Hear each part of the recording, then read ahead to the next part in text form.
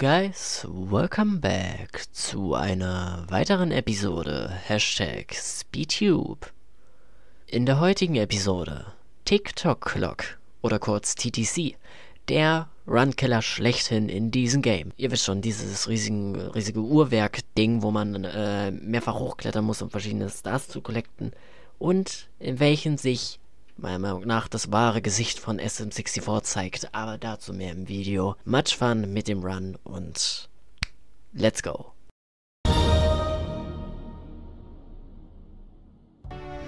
Oh mein Gott. TikTok Clock, TTC, der Run-Killer des Games. Neben Remoroid, was Sie auch noch sehen werden im nächsten Video. Aber erstmal hierzu. TikTok Clock, wo ich mich sehr schwer getan habe, eine 100 Coin Route rauszusuchen. Fun Fact. Äh, ja, ich habe das ist, ist, der Grund, warum... Also ich habe das Video hier, was ihr heute sehen werdet, am 3.12., für den 2.12. geplant, aber weil ich mich hier mit den Coins so schwer getan habe, habe ich es auf den 3. verschoben. Well, wirft etwas meine Planung für den Dezember durcheinander, aber... Kann man wirklich sowas vorhersehen? Kann man wirklich sowas vorhersehen? Wie viel Practice die, diese, äh, diese Stage braucht. Ich glaube, das ist bei TTC schon irgendwo vertretbar. In every case, wir haben 15 Coins von den 100 Coins. Und die 100 Coins dauern in dieser Stage echt lange. Echt lange. Vor allem, weil es eine komplizierte, verworrene Map ist. Und ja, ich auch sehr lange schauen musste, wo die Coins sind. Hier sind 5 Coins. Von diesen 5 Coins, wenn man am Anfang nicht diesen einen Block, ähm, in dem wir vorbeigelaufen sind, zerbricht, wo noch bei 3 Coins drin sind, da braucht man da 4 von den 5. Ich habe mal alle 5 genommen, vorsichtshalber. Und jetzt hier die Blue Coins. Von denen bräuchten wir alle. Okay, funktioniert. Dann hier wieder rüber. Und ich habe im Intro angekündigt, dass das hier der Run sein wird, wo Mario 64 sein wahres Gesicht zeigt. Wird es, wird es, wird es. Warte ab. Es gibt hier ein paar Momente, wo man sich wirklich denkt, wie sowas passieren kann. Aber es ist Mario 64, also... Nein, dieser Moment meine ich jetzt nicht wo dieser Warjump denied wird. Aber nein, nein, den Moment mache ich nicht. Äh, 58 Coins. Jetzt hier kommen wir zu der Stelle, wo Sideflip, Warjump nicht ganz. Da hat der Winkel nicht gepasst. Nochmal der Winkel nicht. Hier passt der Winkel. Und jetzt brechen wir hier 68 Coins. Ein Jump. Hier aufs zweite. Aufs dritte. Äh, Fließband, ja, Fließband. So war das Wort, wonach ich gesucht habe. Hier die Box, hier die drei Coins, 71 Coins. Und dann müssen wir noch hier rüber und dann gibt es hier oben, also wir sind am obersten Rand der Stage, dann gibt es hier drei Blöcke mit jeweils 10 Coins, was es einfacher macht.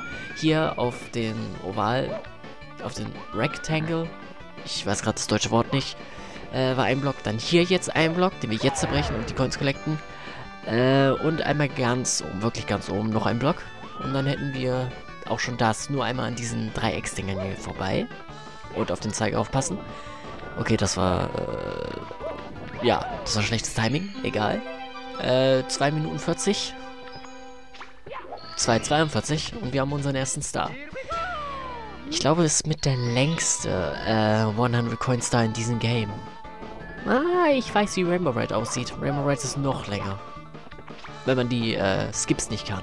Was ich in meinem Casual-like Skill-Level nicht unbedingt weiß. Also, doch, ich weiß, dass, dass es einige Skips in äh, Rainbow Ride gibt, aber ausführen ist eine Sache, ist, ist, ist nochmal was anderes. Ausführen kann ich die nicht, weil nicht genug Erfahrung in dem Game. Ich meine, wenn ich auch nur so auf Casual-Ebene das nur so halb hinbekomme. Okay. Zwei Stars nach 3,20. Okay, okay haben wir das geklärt. Das war der anstrengende Teil. Jetzt kommt der zweite anstrengende Teil. Die Red Coins. Nein, ich mache nicht die Moving Reds. Ich mache nicht die bewegenden Reds. Das wäre anders, anders insane. Ein bisschen unpassend hier eigentlich, weil die jetzt hier stillstehenden Reds, das ist, äh, ja, ihr seht, das kann auch sehr schnell anstrengend werden. Machen wir die Reds zuerst, habe ich mir gesagt. Machen wir die Reds zuerst und dann das. Vielleicht hätte ich die Reds doch zum Schluss machen sollen.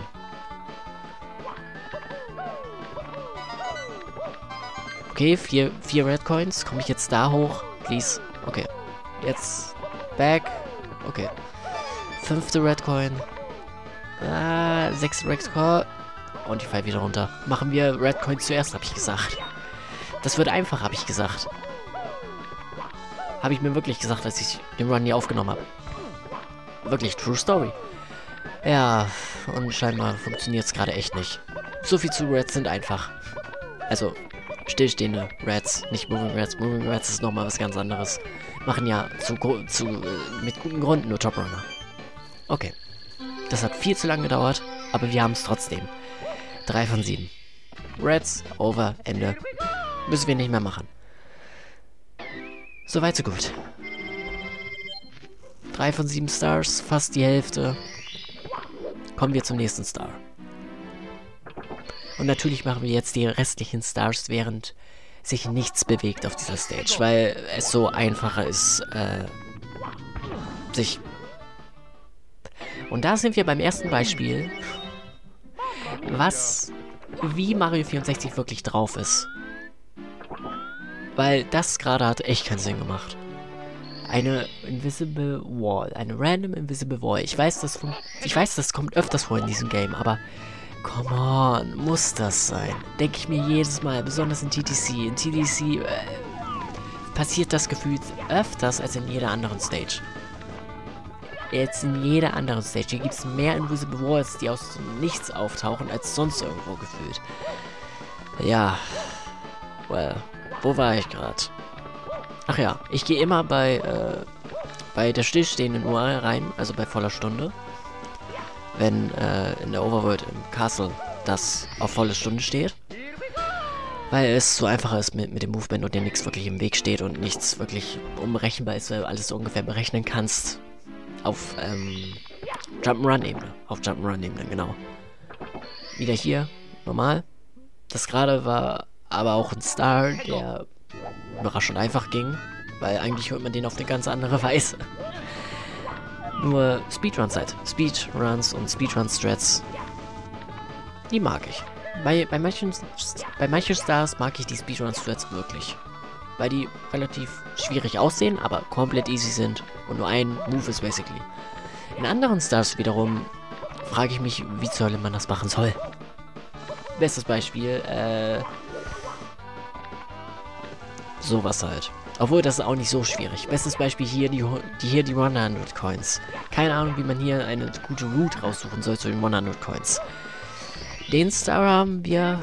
Hätte auch etwas schneller gehen können mit den Warjump. Hätten nicht drei Tries äh, hätte sein müssen. Aber bis jetzt ganz in Ordnung. Bis jetzt ist in Ordnung. Diese, das ist, ist in Ordnung. Nicht so gut, nicht so schlecht. Ähm, wie viele Stars haben wir jetzt? Ich glaube, zwei fehlen noch. Ja, zwei müssten noch fehlen. Dieser eine, ja genau.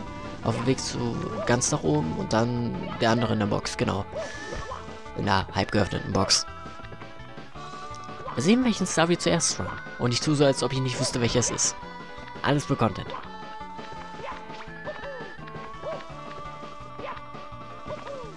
So, also hier lang wäre der normale Weg, wie man es kennt. Ja, hier nicht runterfallen, ist mir auch mal passiert. Ja, hier passiert all, all möglicher Shit. Hier passiert alles, was man sich denken kann. Alles, was man sich denken kann. Äh, da kann man nicht rüber. Dann hier auf die Plattform zuerst und dann hier den Walljump, um auf die auf den Kreise raus, raufzukommen und dann darüber... Das ist nicht dein Ernst-Game. Das ist nicht dein verdammter Ernst-Game. Come on. Come on, 64. Sei nicht so. Was, was war das gerade? die zweite Invisible Wall in diesem Run. Out of nowhere. Spult nochmal zurück und schaut euch das Zeitlupe an. Das macht gar keinen Sinn. Die eigentliche Hitbox war fünf Jahre gefühlt äh, entfernt. Ich hasse dieses Game dafür wirklich. Die, dieses Game ist eine Hassliebe. Zwischendurch habe ich es wirklich angefangen zu mögen mit Red Dry und äh, Snowman's Land. Aber äh, sowas erinnert mich wieder, warum ich mich schwer tue mit diesem Game. Warum passiert sowas? Warum muss sowas sein? Ja, das Game ist von 1996, aber warum muss sowas sein? Warum müssen random Invisible Walls auftauchen in der Stage? Es ist triggernd. Und es ist genau das, was man mit TTC erwartet. Dieses Uhrenwerk. Okay, tryen wir es again. Hierhin, zur Hard, dem Warjump auf dem richtigen Winkel. Jetzt denieren mir nicht mehr Warjump. Dankeschön. Jetzt hier rüber. Keine Visible Wall. Und der Rest ist eigentlich geschenkt. Hier einmal Warjump. Sich da festhalten und zwei Jumps. Dann ist man beim Star. Und ein Star fehlt uns noch. Und mir fällt gerade auf, Sub 10 ist für TTC eigentlich komplett free auf meinem Pace. Komplett free. Diese zwei Devs runtergerechnet. Plus die Probleme bei äh, den Red Coins. Plus der Warjump zu den speziellen Star, wo da auch der Blue, Blue, äh, Blue Coins Schalter ist. Wenn man das alles rausnimmt, 7, 8 Minuten safe. Also insgesamt dann die Endtime. Leider sind wir schon bei 10 mit diesem Problem. Aber ich wollte auch genau zeigen, wie das, wie das laufen kann. Wie ein Speedrun von Mario 64 laufen kann. Wie sehr es eskalieren kann, ohne dass du als Spieler dafür schuld bist.